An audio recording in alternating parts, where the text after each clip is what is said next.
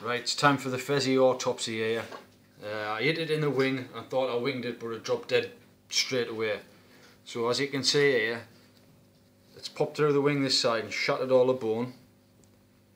It's left here, went here and went deep into the cavity. So if we have a dig, dig a boot, there you go.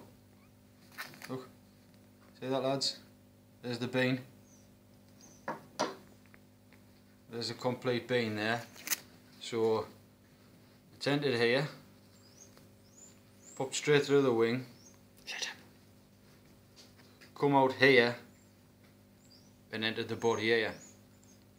So that's why it's dropped dead and its wings smashed and these beans are really effective. Straight through, smashed all the bone, it went straight inside and obviously hit some vital organ or kicked its ass.